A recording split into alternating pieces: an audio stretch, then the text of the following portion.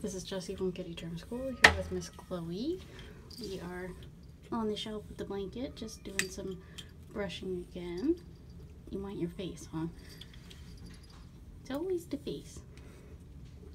How you been doing, Miss Chloe? How was your day? You say good.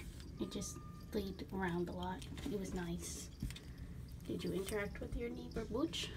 There's a cat next door, Butch, who seems to like to talk to the other cats. So maybe you guys were talking? Maybe. In a good mood, Miss Lady? Yeah. Alright. Kitty meow.